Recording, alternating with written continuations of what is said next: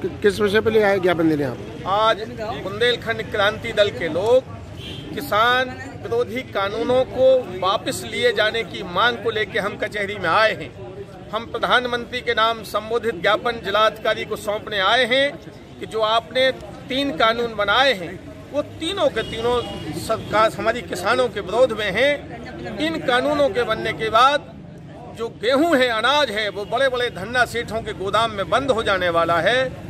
हमारा जो गरीब किसान जो दूसरों की खेती बटाई पे लेता था, वो भूखों मर जाने की नौबत पे आने वाला है क्योंकि कंपनियाँ खेत को किराए पे ले लेंगी तो बटाईदार को कोई खेत नहीं मिलेगा।